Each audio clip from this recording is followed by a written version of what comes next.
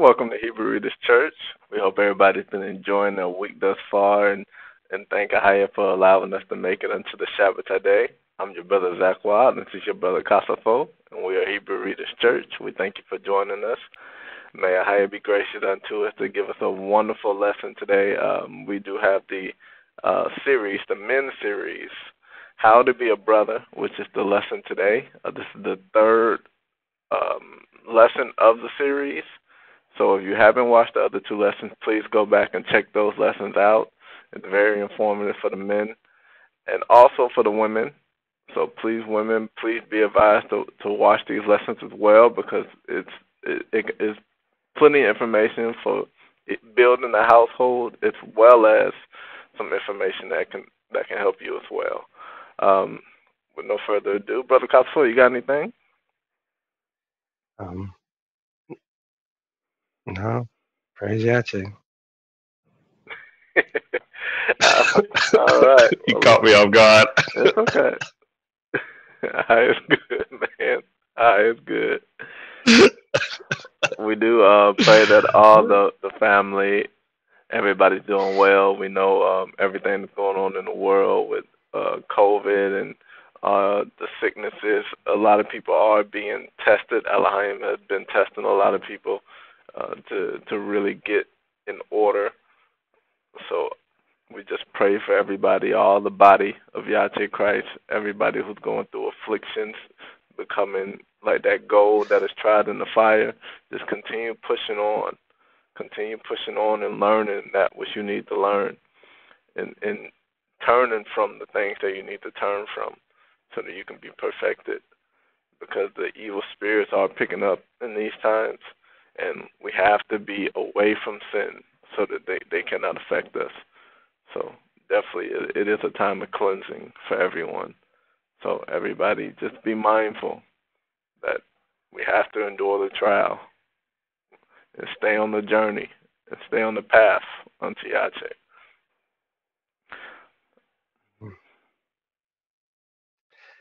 Amen. All right. This lesson is for the growth of the body to discuss how men ought to operate as believers to be called a brother in truth. Can we start at Titus chapter 2, verse 1 to 3 and verse 6, please?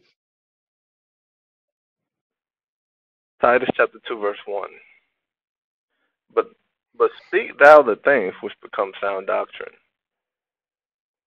that the aged men be sober grave, temperate, sound in faith, in charity and patience.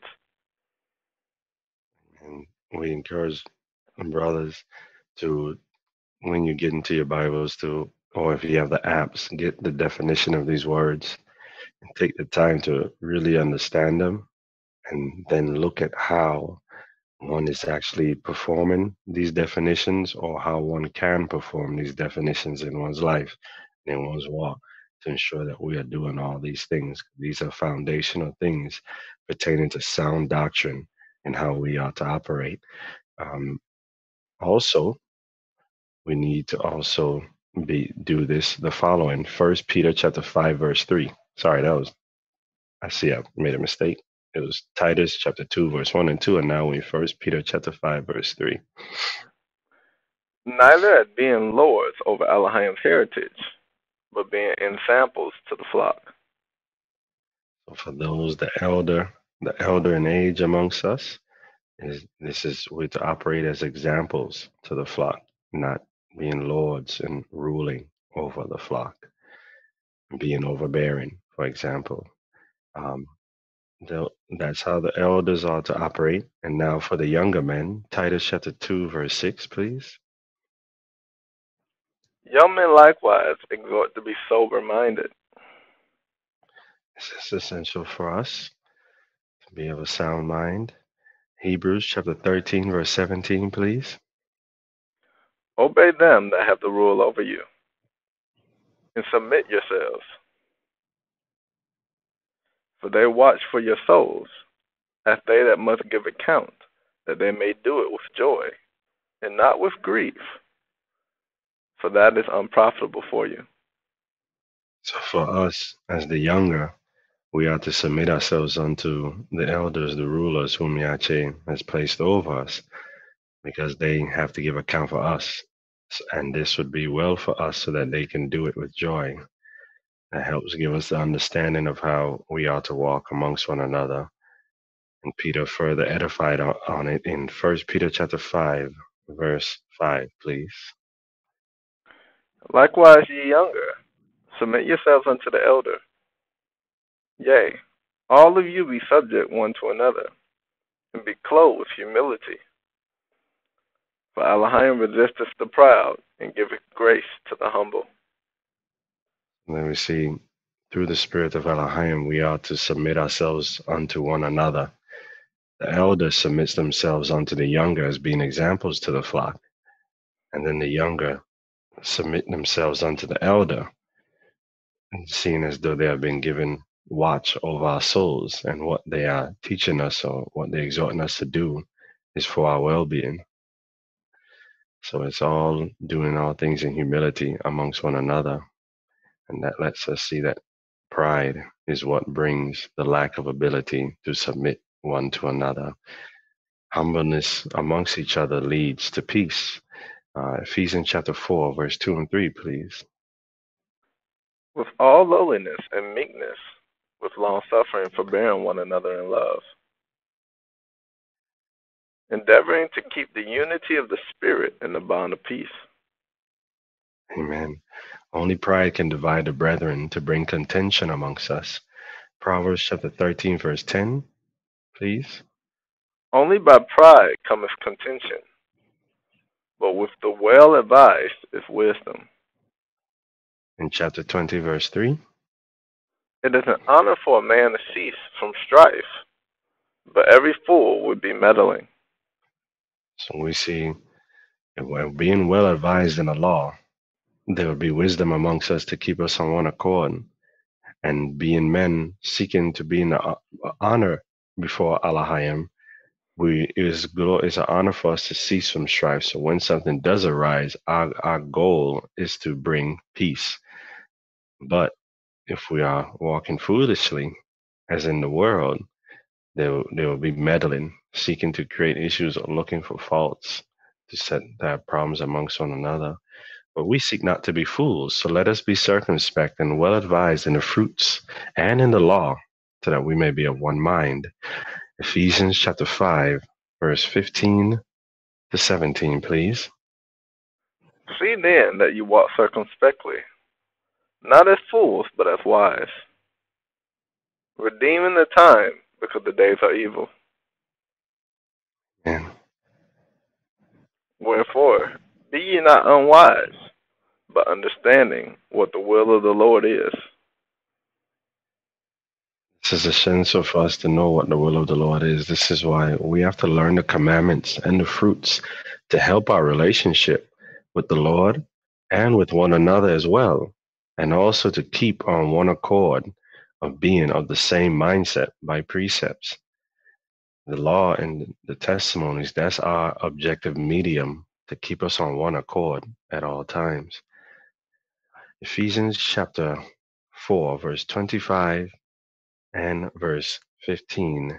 This is in building relationship with one another and walking on one accord, knowing what the will of the Lord is. Truth is essential to reign amongst us. As we know from Psalms chapter 15, that he that speaketh truth in his heart shall dwell in Elohim's holy hill. So it's important for us. Can you read that verse, Ephesians 4 and 25, please? Wherefore, putting away lying, speak every man truth with his neighbor, for we are members one of another. This is essential to be brethren, to be family, to have truth amongst one another. And there's a way we ought to speak the truth, as we're exhorted in chapter 4, verse 15 of Ephesians, please. But speaking the truth in love may grow up into him in all things, which is the head, even Christ. So that truth in love is helping us grow up into Christ together as being members one of another. Lying to a person actually shows we hate them So we have to be mindful to stay in love by being honest and sincere with one another. Can you read Proverbs chapter 26, verse 24 to 28, please? He that hateth dissembleth with his lips, and layeth up deceit within him. The word dissemble means to conceal one's true motives, feelings, or beliefs. So that shows there's hate within us if we're dissembling or concealing not being simplistic and guileless toward our brother or sister. And what we're holding on within us, the issue that we really have that we're holding on to, the scriptures show that we're laying deceit within ourselves. Continue, please. When he speaketh fair, believe him not, for there are seven abominations in his heart. And this is showing Alahayim seeth the heart, that we may hide from man. We cannot hide from Alahayim. Continue, please. Whose hatred is covered by deceit. His wickedness shall be showed before the whole congregation. This lesson, now we see that we can be honest and speak truth in love with one another and find favor in the sight of the congregation, or we can speak fair and we're still walking that deceit, having issues within, and eventually Alahayim is going to show our wickedness before the whole congregation. So there's we can do things in humility and be accepted, or let pride enter in and seek to deceive ourselves and others, and Alahayim will bring it out before all.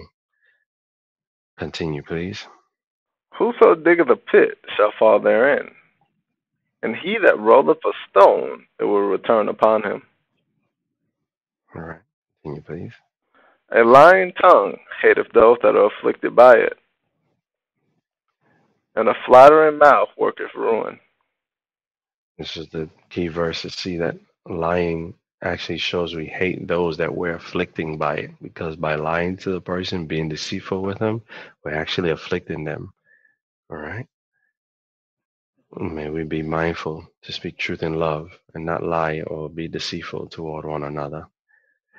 In this walk, it takes time and attentiveness to make a true brother and a friend in the faith. Can you read Sirach chapter 6, verse 6 and 7, please? Be in peace with many.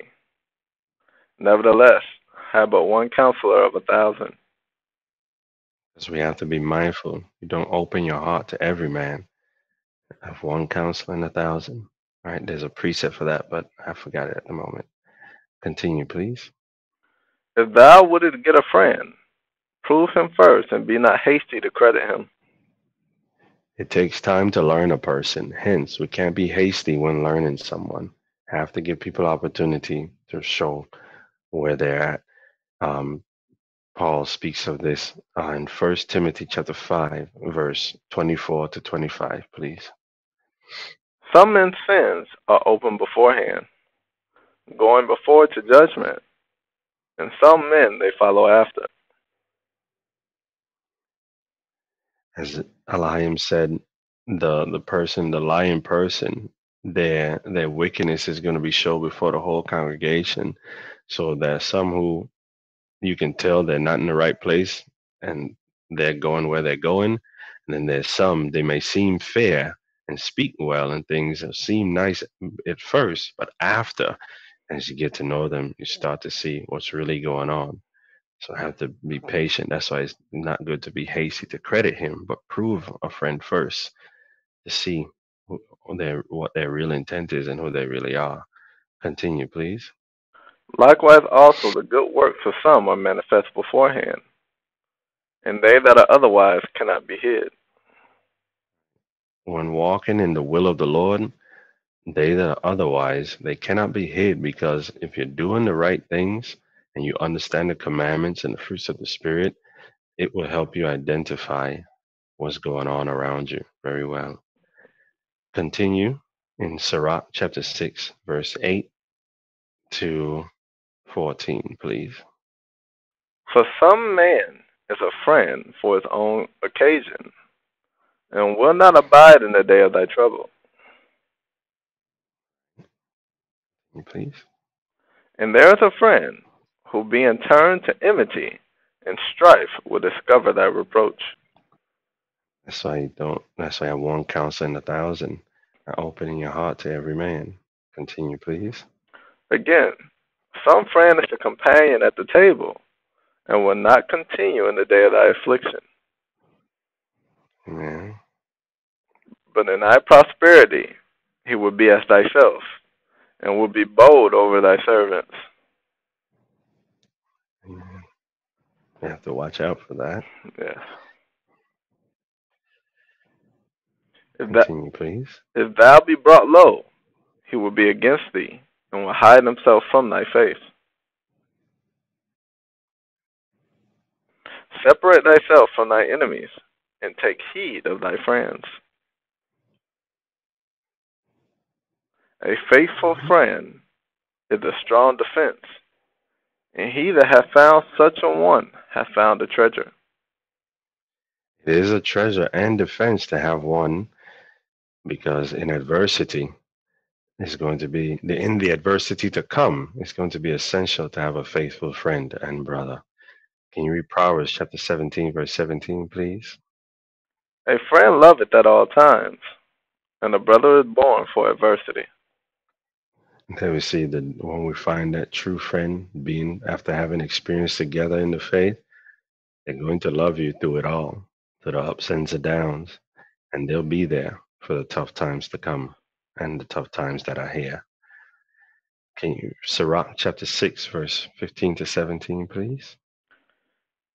Nothing doeth countervail a faithful friend, and its excellency is invaluable. A faithful friend is the medicine of life, and they that fear the Lord shall find him. Notice they that fear the Lord shall find him. Alahayim has to bring that about to develop that relationship, develop the person so that they also may be prepared for that relationship, because it takes both being in the Lord to be true friends. Continue, please. Whoso feareth the Lord shall direct his friendship aright.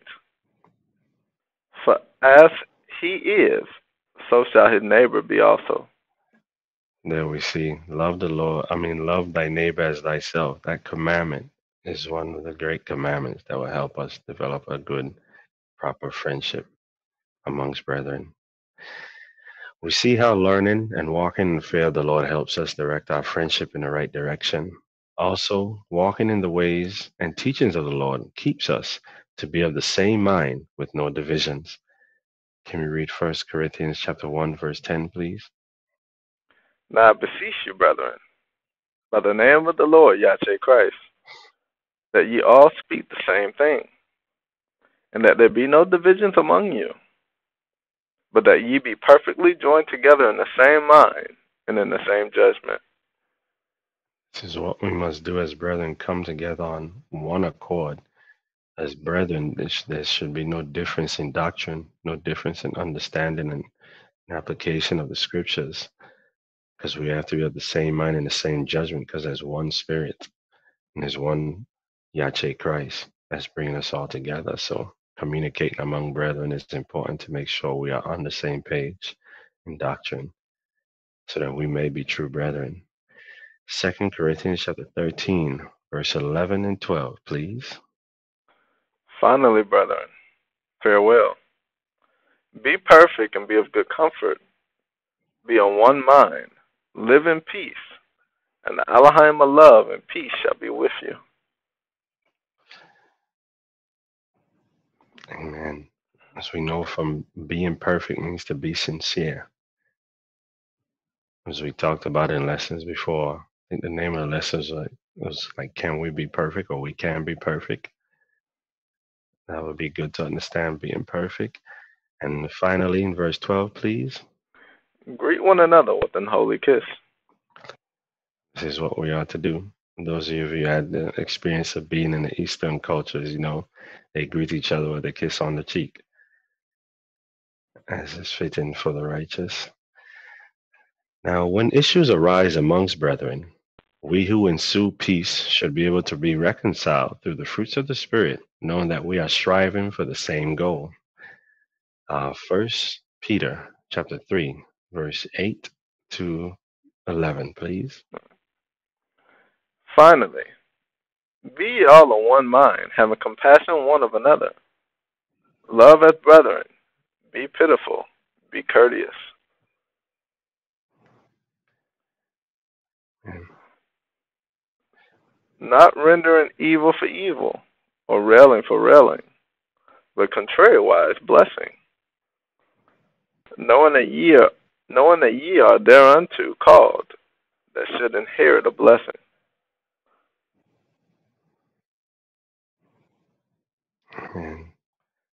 So we see how to love as brethren is to be pitiful, be courteous, not rendering evil for evil, railing for railing, but contrariwise blessing, knowing that we are all seeking to inherit a blessing. Continue, please. For he that will love excuse me, for he that will love life and see good days, let him refrain his tongue from evil, and his lips that they speak no guile. It's essential for us to guard our tongue in order to be a true brother. This is very important for us. Continue, please. Let him eschew evil and do good. Let him seek peace and ensue it. Amen. Continue. Also, can you read Philippians 2 and 12? Yes. Wherefore, my beloved, as ye have always obeyed, not as in my presence only, but now much more in my absence, work out your own salvation with fear and trembling. This is essential for us. We need to eschew evil and do good and seek peace and ensue after it while working out our own salvation with fear and trembling. We work out our own salvation, not counting ourselves to have already made it, confessing our faults, comparing ourselves unto the end goal of Christ, not comparing ourselves to each other or another, because it's pride that ins- inspires the looking at another brother to assess oneself. Second Corinthians chapter 10 verse 12, please. For we dare not to make ourselves of the number, or compare ourselves with some that commend themselves. But they measuring themselves by themselves and comparing themselves among themselves are not wise. Amen. That's not the way to go. That's not what we are called unto. Humility is key for us. Can you read Galatians chapter 6, verse 3 to 5, and then verse 7 to 8, please? Galatians chapter 6, verse 3. For if a man think himself to be something, when he is nothing, he deceiveth himself. Amen. That's why we don't make our, we dare not to make ourselves of the number to act as if we're the 144,000 or we're someone special. We know that this is a journey and we are hoping to be counted worthy to stand before the Son of Man. Continue, please. But let every man prove his own work, and then shall he have rejoicing in himself alone and not in another. And this is why we don't compare ourselves amongst ourselves. We're proving our own work, examining our own selves to see are we meeting the standard of Christ Yache. And if we if there is something that's according to the standard, we rejoice in ourselves and it's not actually rejoicing about us, but we're rejoicing in who's working in us. Yache Christ, the hope of glory. That our praise is in him. right? And we don't look at something another does as if it's some glory um, of ourselves. What others do, we praise Yache for what he does in them as we continue to look at ourselves and look for something praiseworthy that he's doing in us. Continue, please. Galatians 6 and 5. For every man shall bear his own burden. We all have our own journey, our own walk in this fight. Continue, please. Galatians 6 and 7. Be not deceived. Elohim is not mocked. For whatsoever a man soweth, that shall he also reap. Amen. what we sow in our heart, we're going to reap it in our life. Continue, please. For he that soweth to his flesh shall of the flesh reap corruption. But he that soweth to the Spirit shall of the Spirit reap, life everlasting. Those that dichotomy is very simply if we sow the lust of the flesh within us, if that's where our thoughts and our mindset is, in the lust of the flesh, we are going to be, we're going to die. But if we sow the fruits of the Spirit, have our thoughts according to the fruits, that's going to bring us unto life. And this is essential for us. As Testament of Levi said in chapter 13, verse 6. Can you read that, please? And sow good things in your souls, that you may find them in your life. But if ye sow evil things, ye shall reap every trouble and affliction. So we see how what's going on within us can affect our everyday life. Trouble and affliction can come upon us just from having the wrong mindset. Thinking things that are not according to the fruits of the Spirit can lead us to trouble and affliction. And knowing these things, let us be mindful to do the good and think the good. All right. Continue in Galatians chapter 6, verse 9 and 10, please. And let us not be weary in well doing, for in due season we shall reap if we faint not. If we faint not, we have to continue, as Brother Zachar exhorted in the beginning. We have to continue in the fight and not faint, because we're going to get shown things that we're not doing right, or hidden things that we didn't realize we were doing wrong. Yet, there was a reasons to rejoice, because we've been shown something else to bring us closer unto our Lord. So let us not faint. Continue, please, brother. As we have therefore opportunity, let us do good unto all men, especially unto them who are the household of faith.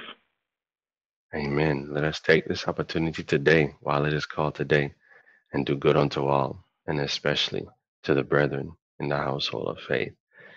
We do good unto all men, knowing that it is Allahayim in us who prospers us to do so according to his will. Can you read Philippians chapter 2, verse 13 to 15, please? For it is for it is Elohim which worketh in you both to will and to do of his good pleasure. Man. Do all things without murmurings and disputings, that ye may be blameless and harmless, the sons of Elohim without rebuke, in the midst of a crooked and perverse nation, among whom ye shine as lights in the world. Now, here in the world, this is how we ought to be blameless and harmless as the children of Elohim without rebuke, doing all things in concord, in love, and simplicity.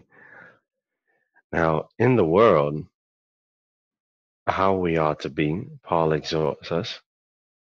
Um, can you read Colossians? I mean, sorry, First Corinthians chapter five, verse nine through eleven, please. I run unto you in an epistle not to com- company with fornicators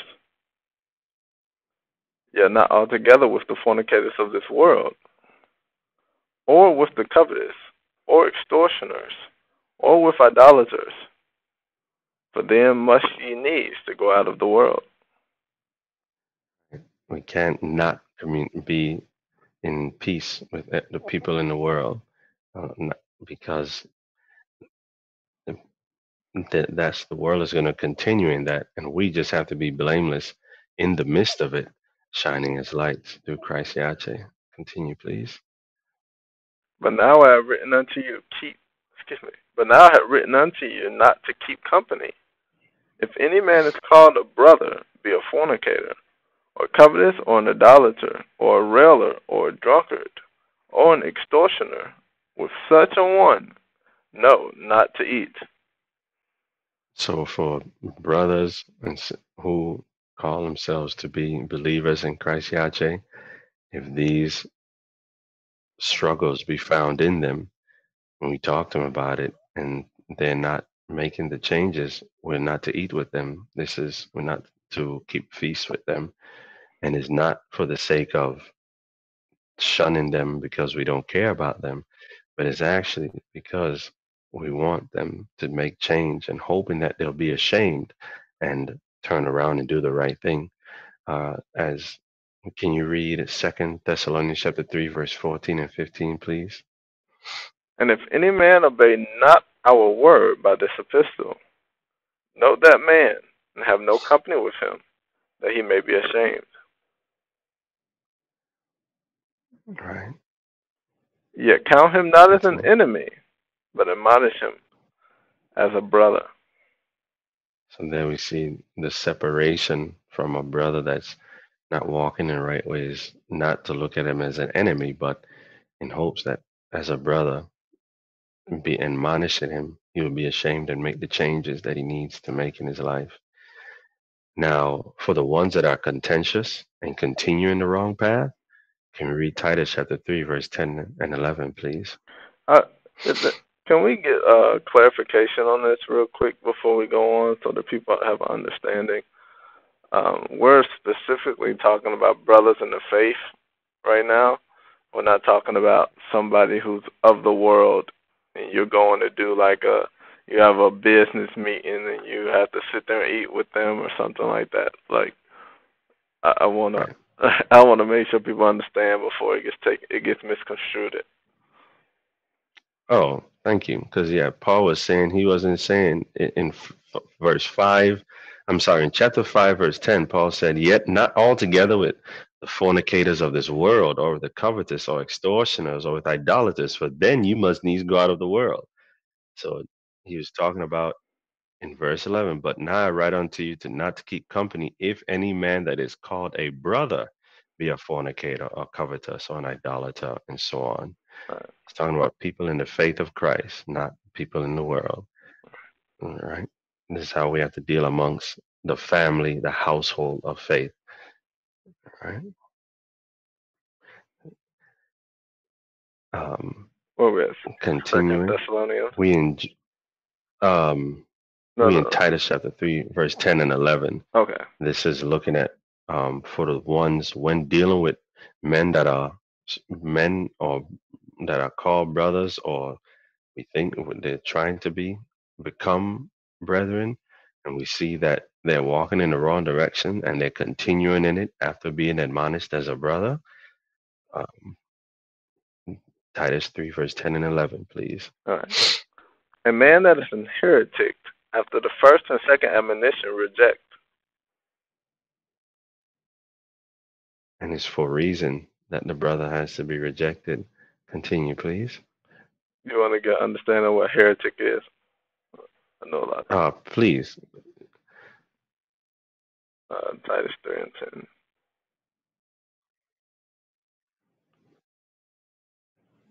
All right. Heretic is G one forty one. Uh, a a schismatic uh, heretic.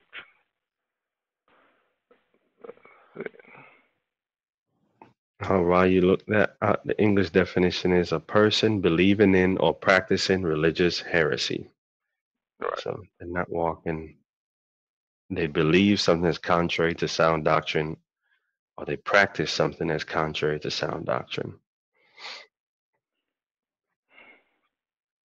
And this is why we're all supposed to be studying what the will of the Lord is and the fruit, so that we may all be on the same page to know it. And if a person that when you continue in heretic, I think it says more there. Sorry. Okay. Uh, Titus chapter three and eleven. Knowing that he is such, excuse me, knowing that he that is such is sub- subverted and sinneth, being condemned of himself. Then you see the person that that schism that they're bringing, they're staying in it. They're not willing to sit and and reason together to ensue peace, but they have their doctrine that they're walking in, though it's not sound according to the faith. With those, when we see that they're subverted and doing it to themselves, we have to reject them, so that there be no uncleanness amongst us. in the faith, we have to use discernment on how to interact with brothers depending on where they are in the faith. Can you read Jude chapter 1, verse 20 to 23, please? But ye beloved, building up yourselves on your most holy faith, praying to the Holy Spirit, praying in the in the Holy Spirit. Excuse me. keep yourselves in the love of Elohim, looking for the mercy of our Lord Yache Christ unto eternal life. And staying the commandments and the fruits. Keep ourselves in the love. Continue, please. And of some have compassion, making the difference. And others, Continue, and others say with fear, pulling them out of the fire, hating even the garment spotted by the flesh. So you see, we went here to see how there are different ways how we have to interact with certain brethren. There are some men who they show that they're not brothers by the heresies and unwilling to turn away from it. Those have been subverted and they're doing it to themselves. We have to reject them. But then there are brothers who are just struggling to learn and grow. These we have compassion, making the difference between the two. And others, they they really having a tough time, and you have to pull them out with fear. Like, hey, brother, that's you have to be more assertive to help them with certain things, knowing that they are there's certain areas where they're weaker in, and Allah might have given you more strength to overcome. And this is how having that one counseling a thousand, talking to each other about things, it helps to pull one, get pulled out of the fire. There may be an issue you may be having. You go talk to your brother about it to help you have the right mindset, knowing that it's a weak area for you. And he'll tell you what you need to hear for you to stop what you were thinking or come out of the feeling you are walking in. This is what this is. This is how why it's important for brethren to communicate amongst each other and have that environment of being able to have open dialogue and come to common understanding. Um, I want to give understanding on Titus three and ten on on some of it because we we've been going into um, people that like to cause schisms and contention. Um, Okay. it said the man as a heretic after the first and second admonition reject. A lot of times, that person is the person that wants to cause division. He comes and he and he comes with different doctrines or false doctrines, trying to cause that division, or trying to be a. One of the things was he was um, people weren't try, weren't, weren't supposed to be a, a, a, a what is it over the flock? What what uh, I forgot the name. Of, Um, being lords, being Right. lords over the flock. Right. So he wants to have dominion, like some authority over the flock. Right. So a lot of times he'll come with these doctrines so that he can have dominion over the flock and try to cause the the the, the congregation to, to be split. And a lot of times that happened even in the scriptures, even in the Acts. Um, there would be that person who would come and cause the dissension or the schism in the churches, and the church would end up being divided. Happened amongst the Corinthians. The whole letter of Clement was uh, discussing how envy and jealousy caused that division amongst them. There's someone bringing in heresies. So you got to be very careful with that, and also it leads people away from the from the gospel of Messiah. It leads people away from the simplicity of Christ, and a lot of times that that schism or or that that um, heresy that they're walking in usually stems from their own desires or their own lust or something that they can't get over according to the scriptures. So nine times out of ten, you probably already reasoned with them according to that to those scriptures, and they won't leave it alone, even though it's not sound doctrine. So um, those are the things you have to be very, very careful about, um, even being within the church itself, because it's the flock that's getting attacked. The wolves always attack the sheep. So this is why everybody has to be firm in the faith, firm in doctrine, so that the wolves can attack.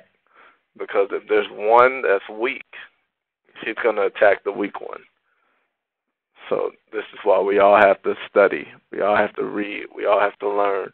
We all have to understand doctrine. We all have to understand scriptures and precepts and, and actually aligning scripture to right according to the holy records so that nobody is without. Amen. That's, that's why they said, "Speak, speak ye the same thing, and be of the same mind and of the same judgment," so that nothing can divide us, because we're all one in Christ. Amen. Now, can you read First Thessalonians chapter five, verse fourteen? This is still touching on how to deal amongst the different brethren, having compassion towards all, and making a difference between the difference in the different situations that people are in. Uh, when you're ready, please. First Thessalonians five and fourteen. Now we exhort you, brethren, warn them warn them that are unruly, comfort the feeble minded, support the weak, be patient toward all men. So, in patience toward all and compassion, you warn them that are unruly. You see your brother doing things that are not well according to the doctrine, give them a warning. And of course, that's done in love, because we speak the truth in love toward one another and comfort the feeble minded, those that may not be as strong minded, and support the weak. Stay encouraging for the brethren. All right. And in that patience, that we don't grow bitter towards one another, but always be long suffering. And that's why First Thessalonians chapter five verse fifteen admonishes us as continue, please. See that none render evil for evil unto any man, but ever but ever follow that which is good, both among yourselves and to all men. It's that we, that again we see that not rendering evil for evil because the fruits of the spirit will keep us when there may be a, a time where a person may fall into the lust of the flesh and react a certain way or act a certain way by staying in the fruits, not rendering evil back. That is going to help us continue to follow that which is good and bring us back on one accord by the Spirit. Now, sadly, offenses must come but there's a proper way to go about making peace among the brethren in the faith. Can you read Luke chapter 17, verse 1 to 3, please? Then said he unto the disciples, It is impossible, but that offenses will come. But woe unto him through whom they come. It were better for him that a millstone were hanged about his neck, and he cast into the sea, than that he should offend one of these little ones. We have to be mindful not to offend the little ones in Christ, which are believers. Continue, please. Take heed to yourselves. If thy brother trespass against thee, rebuke him. And if he repent, forgive him. We must talk to our brother peaceably when rebuking him to ensure the works of the flesh don't arise in us and defile our hearts. Can you read Testament of Gad, chapter 6, verse 3? Love ye therefore one another from the heart. And if a man sin against thee, cast forth the poison of hate, and speak peaceably to him. And in thy soul hold not guile. That's essential for us. Can you continue back to Luke 17 and 4? And if he trespass against thee seven times in a day, and seven times in a day turn again to thee, saying, I repent, thou shalt forgive him. Amen. And then now let's look at the other ways he may react when you tell him about his trespass. Testament of Gad, chapter 6, verse 3 to 7. Please. And if he confess and repent, forgive him. But if he deny it, do not get into a passion with him, lest catching the poison from thee, he take to swearing, and so thou sin doubly. And though he deny it, and yet have a sense of shame when reproved, give over reproving him.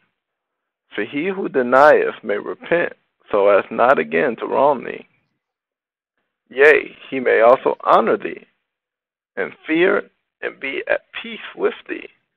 And if he be shameless and persist in his wrongdoing, even so forgive him from the heart, and leave Elohim the avenging. Talking things out as brethren is great for building relationships. Can you read Sirach chapter 11, verse 7, please? Blame not before thou hast examined the truth. Understand first, and then rebuke. It's essential to understand first and then rebuke because Proverbs chapter 18, verse 13, please. He that answereth a matter before he heareth it, it is folly and shame unto him. And and can we continue in Sirach chapter 11, verse 8? Answer not before thou hast heard the cause, neither interrupt the men in the midst of their talk. That's why when we're talking amongst one another, we have to let each other finish what one is saying before we speak.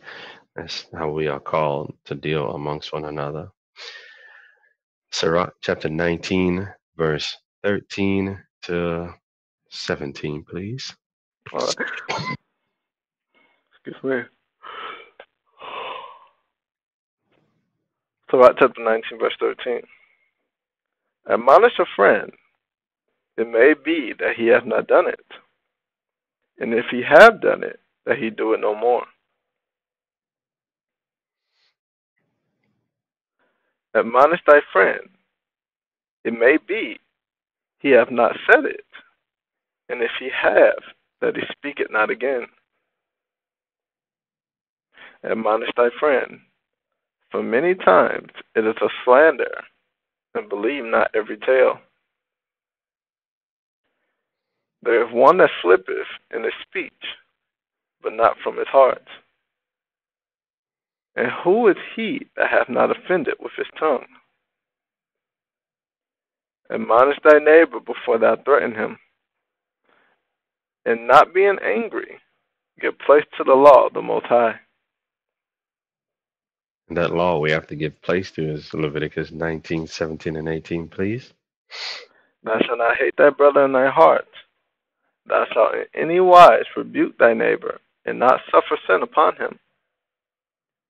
Thou shalt not avenge, nor bear any grudge against the children of thy people, but thou shalt love thy neighbor as thyself. I am Ahia.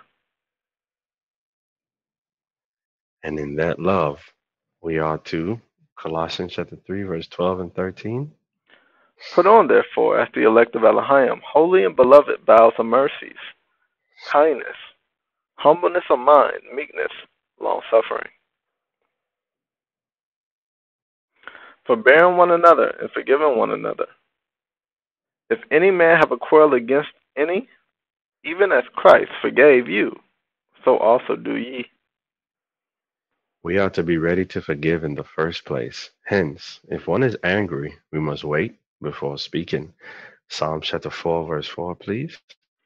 Stand in awe and sin not. Commune with your own heart upon your bed and be still. Selah. This is when, if we're upset, go sit down somewhere until you get to the right mindset to be able to have a conversation with a brother. When in the right place, then we get more understanding on how to bring a fault to a brother and what to do if he will not repent. Matthew chapter 18, verse 15 to 17, please. Moreover, if thy brother shall trespass against thee, go and tell him his fault between thee and him alone. If he shall hear thee, thou hast gained thy brother.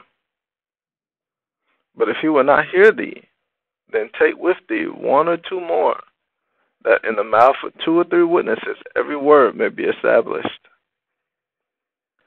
And if he shall neglect to hear them, tell it unto the church. But if he neglect to hear the church, let him be unto thee as heathen. Excuse me. Let him be unto thee as an heathen man and a publican. And that's what Gad was admonishing that if he be shameless and persist in his wrongdoing, even so forgive him from the heart and leave to Elohim the avenging. Uh, that's what public heathen man and publicans Elohim judge it. We that's, there's nothing to say to them when that's why we leave it in Elohim's hand at that point.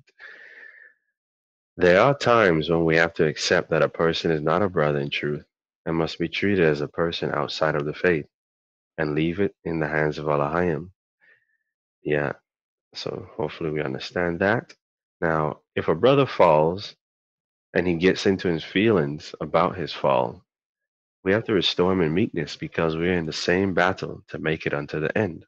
Can you read Galatians chapter 6, verse 1 to 4, please. Galatians chapter 6, verse 1. Brethren, if a man be overtaken in a fault, you which are in, you which, excuse me, you which are spiritual, restore such a one in the spirit of meekness, considering thyself, lest thou also be tempted. Man. We have to stay in the fruit so that we don't get into a trespass ourselves. Continue, please. Bear ye one another's burdens, and so fulfill the law of Christ.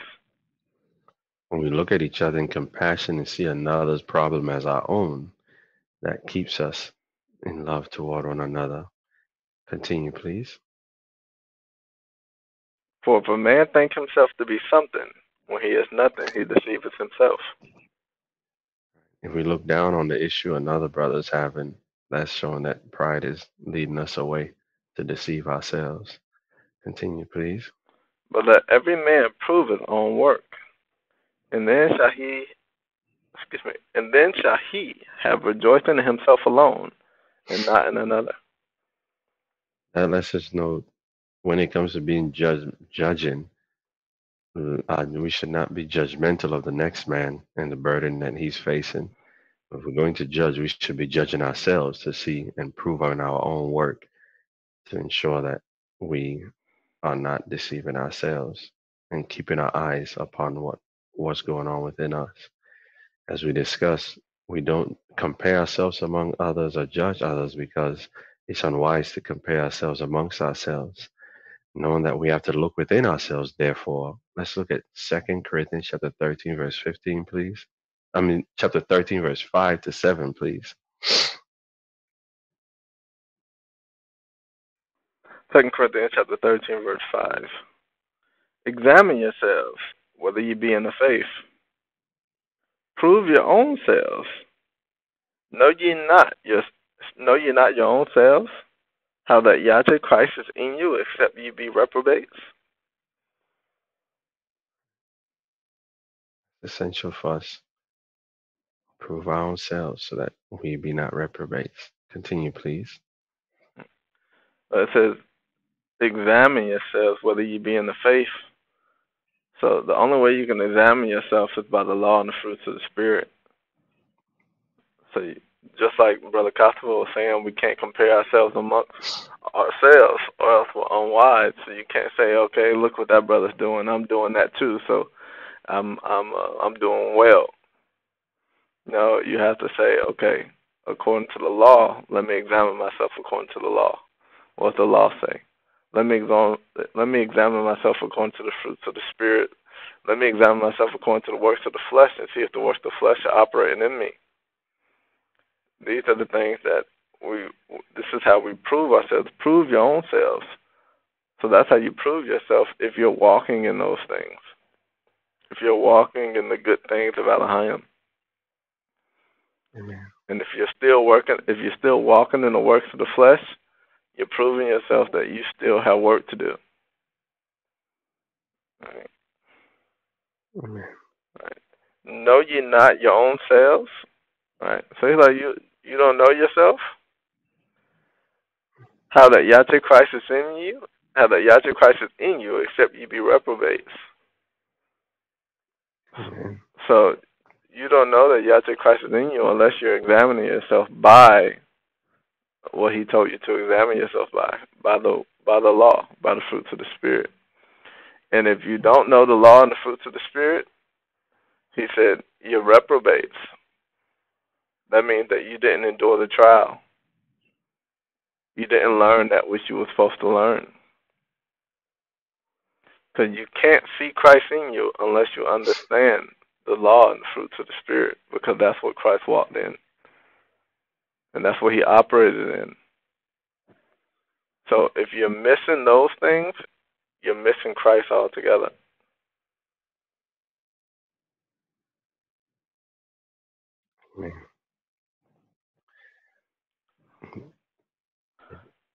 Uh, second, amen Second Corinthians thirteen and six.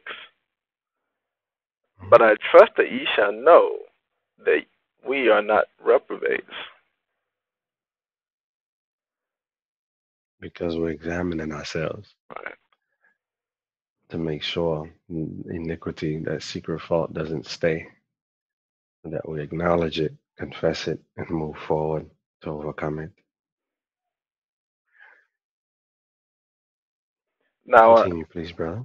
now I pray to Elohim that ye do no evil, And in doing so, in doing no evil, what must we do? First Corinthians chapter 9, verse 27, please.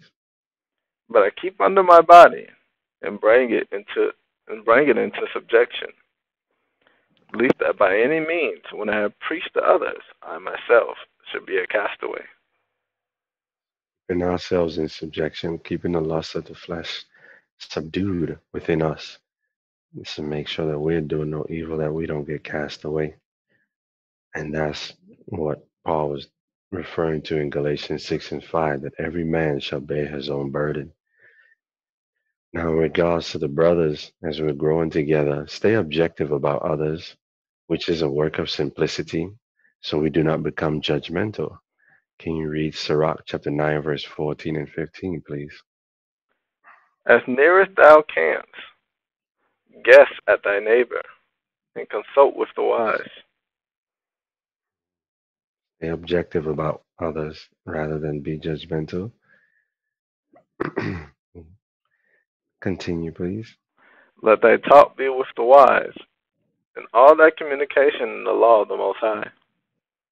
That's why we have to learn the scriptures for us to dwell as brethren. We need that we should all be learning the law and the fruit so that when we talk amongst each other, it's according to the law. It's in the law. We're discussing things not from our own perspective, how we feel about what the law says this, and you know, according to the fruits, we should that. Our discussion should be along those lines so that we'll ensure that peace reigns amongst us and wisdom abounds in the midst of us. And in doing so, that will be profitable for us as brethren. And then touching back on not being judgmental towards one another. It's the Lord who judges all things, not us. Can you read First Corinthians chapter two, verse fifteen, please? But he that is spiritual judgeth all things, yet he himself is just of no man. he abides in the fruits of the Spirit in his judgment for us to know how we ought to abide in the fruits at all times. Can you read Psalms 103 and 8, please? I is merciful and gracious, slow to anger, and plenteous in mercy. That's how he is, so that we may see that's how we ought to be at all times. And continuing in First Corinthians chapter six, chapter two, verse sixteen. For who hath known the mind of the Lord, that he may instruct him? But we have the mind of Christ. Who hath known the mind of the Lord that he may instruct him? This is why we are not to be judgmental because we don't know his mind and what he has in store for a person. Because we a person may look like they're in a certain case, but it may just be their their their season of growth that Elohim is bringing them through, and He's going to turn them around. Hence, we stay objective about others. Guess at thy neighbor, and not be condemning like, "Oh, he's finished. He's done. He's not going to make it." You know, that's condemning. That's being judgmental of a brother instead of, "Ah, "Yeah, help him. Maybe he doesn't understand at the moment." You know, that would be objective and guessing rather than becoming a judge of the person. And in the mindset of Christ, we are commanded to Matthew chapter 7, verse 1 to 5, please.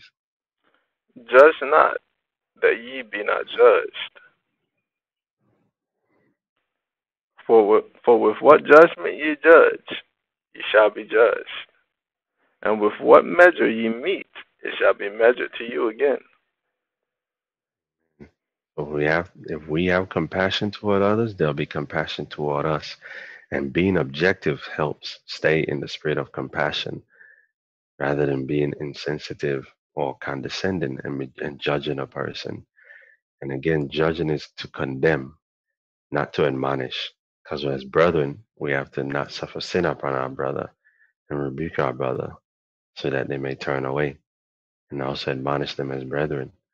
But we cannot look at them to speak on them as if they're they're what they're doing is like they're done for. But that will cause us to be judged ourselves. And the staying objective is key because we're not focused. That shows we're not focused on what our brother has going on, but we're really focused on our own walk. Like, oh, I don't know what that's what I have my own thing to focus on. So I don't have time to be judging my brother.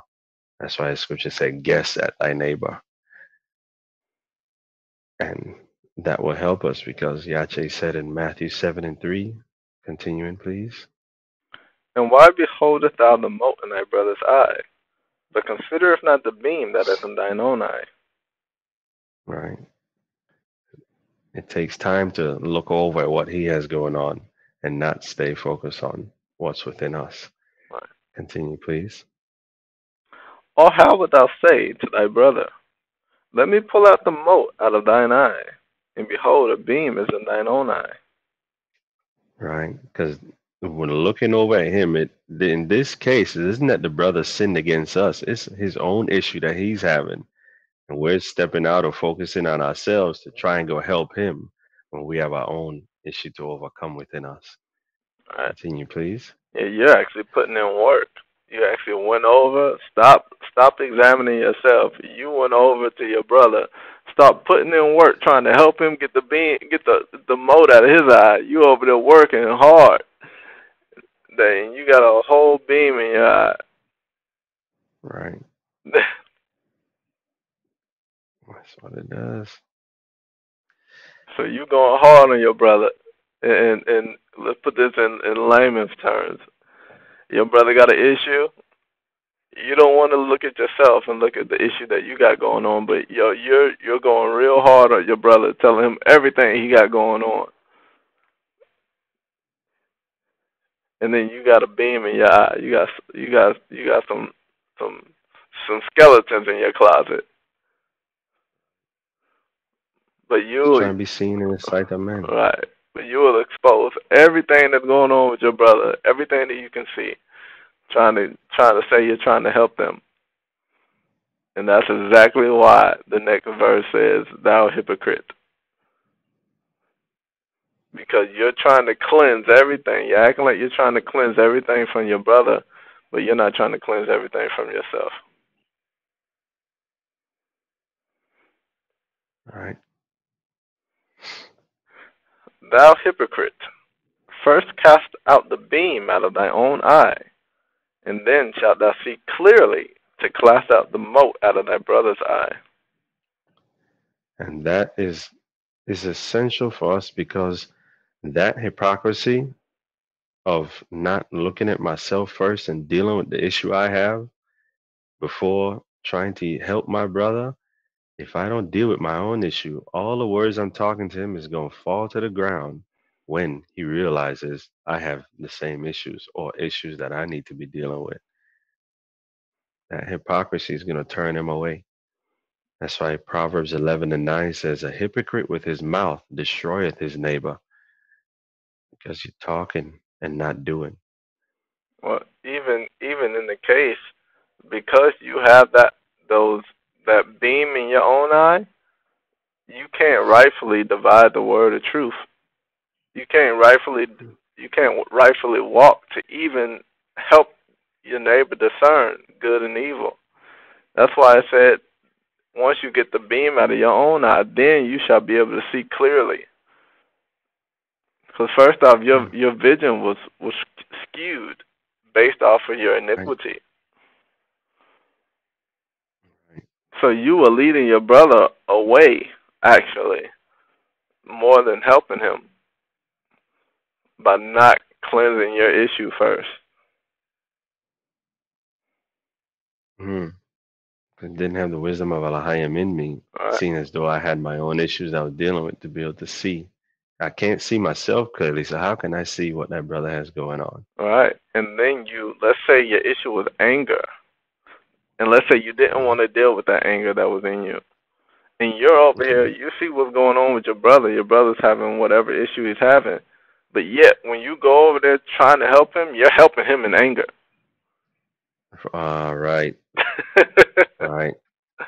like, then I'm everything I'm telling him it ain't right. right.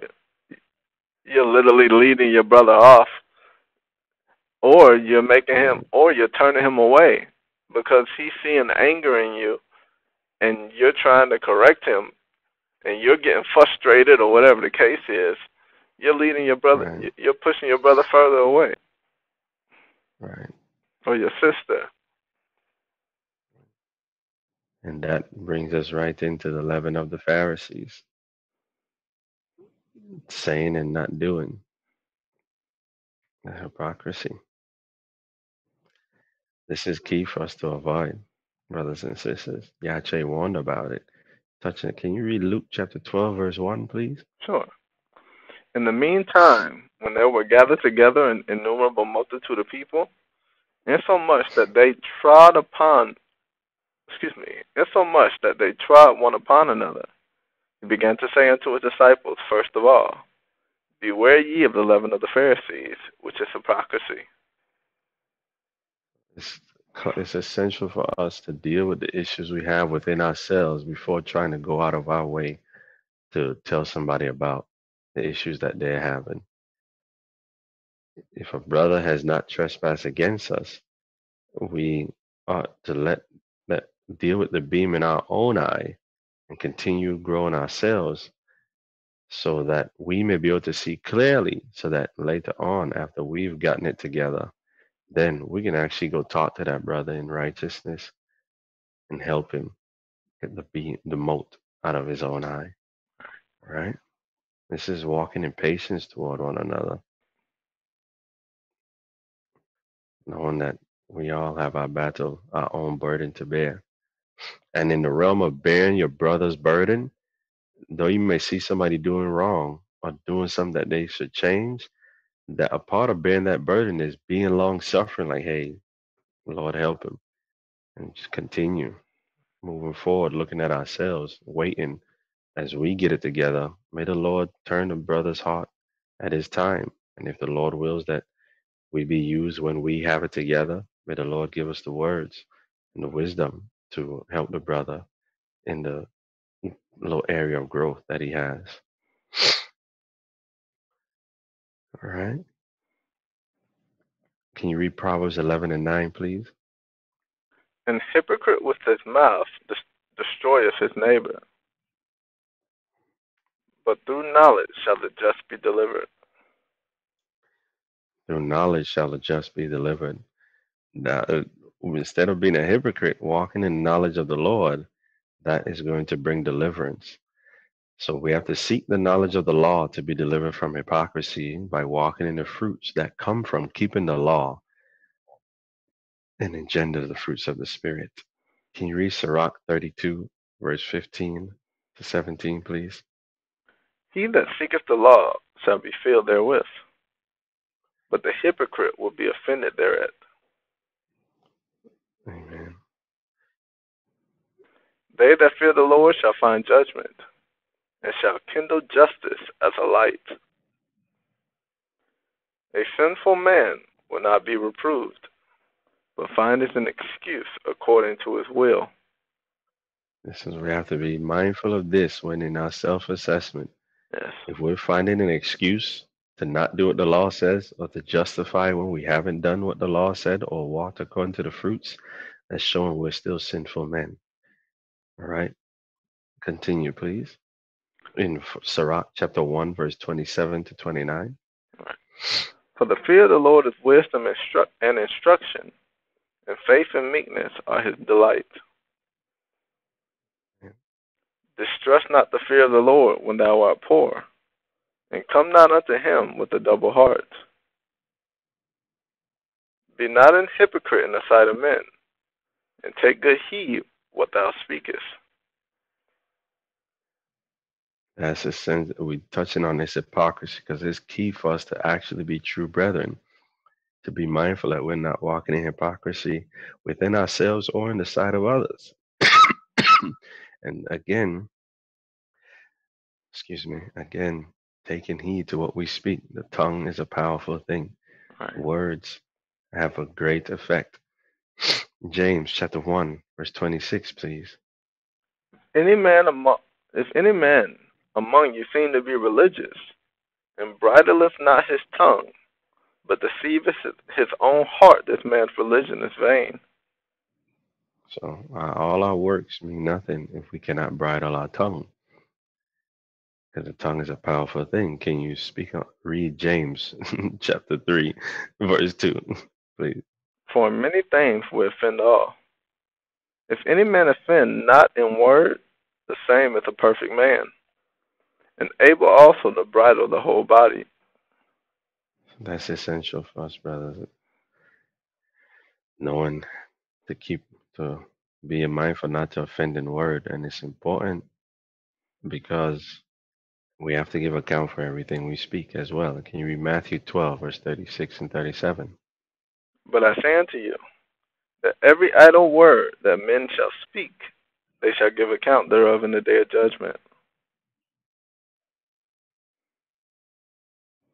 For by thy words thou shalt be justified, and by thy words thou shalt be condemned.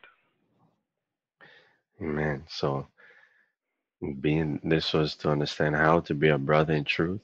You see how we have to walk, speak truth with love one to another. We get understanding of how to interact with one another, how to maintain peace amongst each other by submitting ourselves one unto another in humility. And we also got to understand how not to be condemning towards one another, but objective. And each man ought to bear another brother's burden by being long suffering towards brethren, while also working out our own salvation with fear and trembling, judging ourselves, proving our own selves, learning the law and the fruits to examine ourselves to ensure that we are attaining unto Christ, and also being mindful of our words and staying, being ready to forgive towards one another. These are essential to avoid hypocrisy and walk in love and be brothers in truth. Excuse me. All right. Anything else, Brother Zakwa?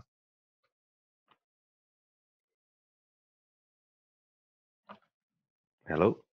Zakwa? I'm here. I'm sorry. Oh. it's Okay. We good to go? Uh,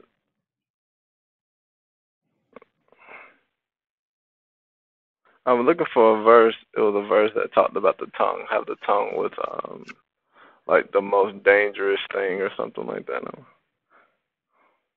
Um, that was James. Talking about like you can't you can't sh- the oar like it's like a ship unruly hmm and all that. Yeah, it's, I think it's James chapter three or maybe chapter one somewhere there. You all right? I just need something to drink my throat. Excuse me.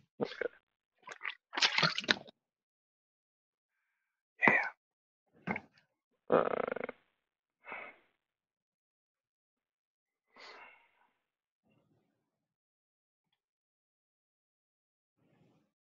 it talks about how they put the, the bridle on the horse's mouth and all that. oh, it's right here. Yeah, James three.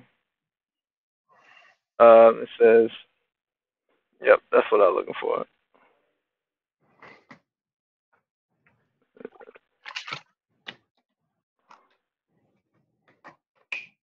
Uh, James 3 and 3 said, Behold, we put bits in the horses' mouths, that they may obey us, and we turn about their whole body. Behold also the ships, which thou, which though they be so great, and are driven of force winds, yet are they turned about with every small, are they turned about with a very small helm, whithersoever the governor listeth. Even so, the tongue is a little member, and boasteth great things. Behold, how great a matter a little fire kindleth. And the tongue is a fire, a world of iniquity. So is the tongue among our members, that it defileth the whole body, and setteth on fire the course of nature, and it and it is set on fire of hell. And every kind of beast, and of birds, and of serpents, and of things in the sea is tamed, and hath not tamed, and hath not been tamed of mankind. But the tongue can no man tame. It is an unruly evil, full of deadly poison, wherewith bless we Elohim, our, even the Father, and wherewith curse we men, which are made after the similitude of Elohim. Out of the same mouth proceedeth blessing and cursing. My brethren, these things ought not so to be. Doeth a fountain send forth at the same place sweet water and bitter? Can the fig tree, my brethren, bear olive berries, either a vine, figs? So can no fountain both yield salt water and fresh. And it's interesting because usually when it comes to people having an issue with one another, it's usually something that they said one to another. And that's why I wanted to go into that, seeing that we're sitting here trying to figure out how to be brethren, how to commune amongst one another in peace. You have to really guard your tongue.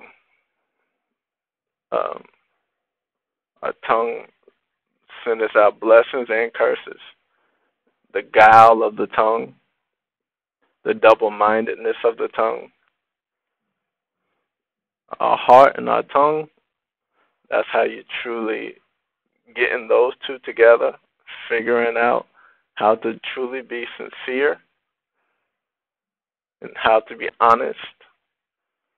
Those things are what's going to build a strong relationship amongst the brethren and amongst the body of Christ in general.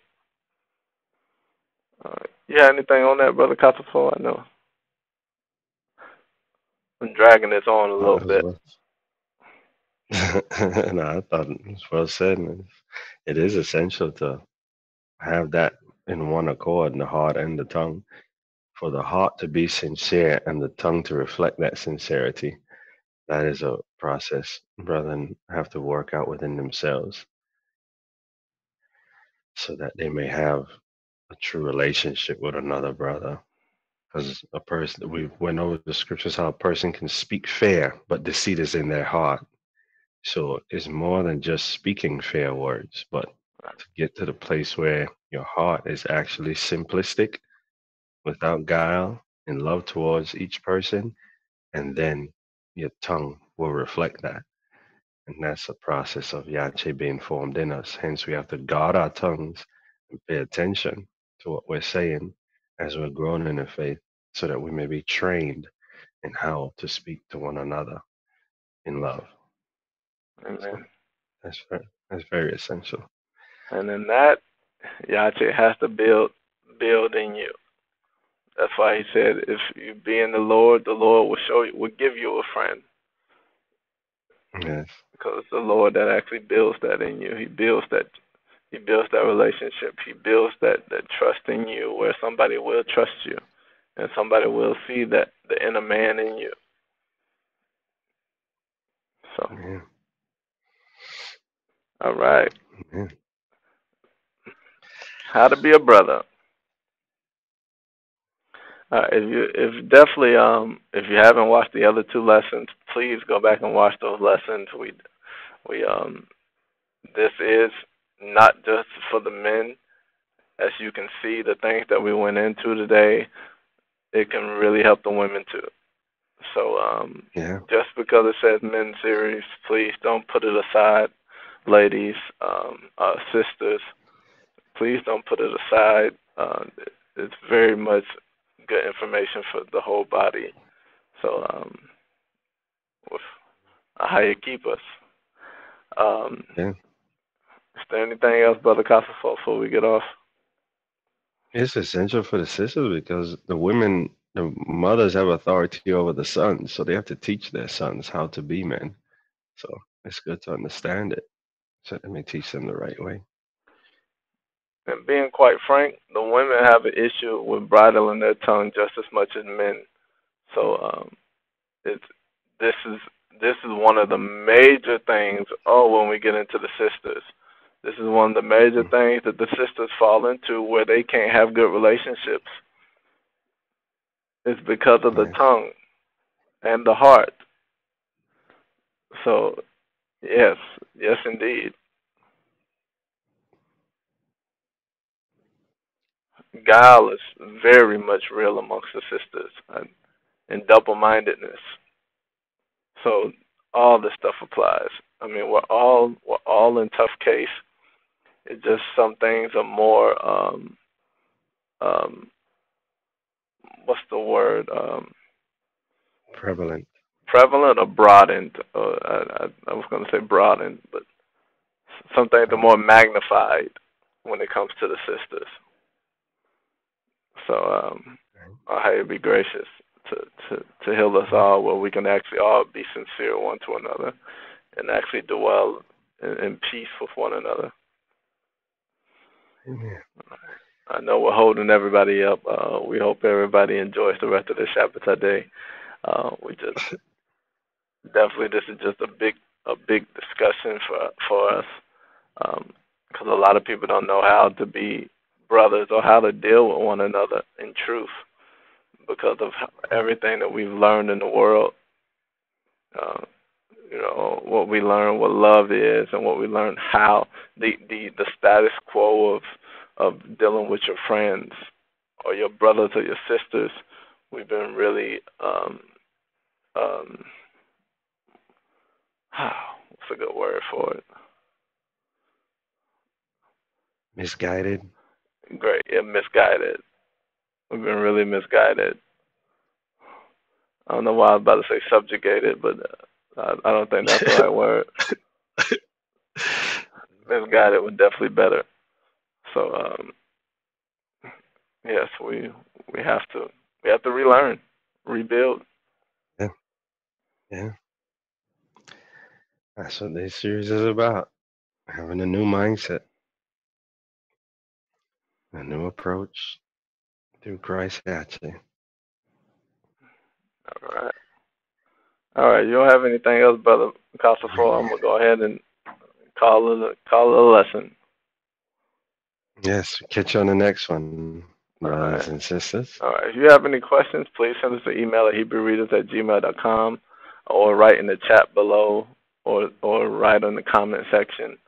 Um, we always enjoy you guys' questions and comments. So please, if there's anything that you want us to pray for you about, please send us an email at HebrewReaders at gmail.com. We're always willing to pray for the for the body and for the brethren. And may Allah just keep us all. May Allah's speed be upon us. Um.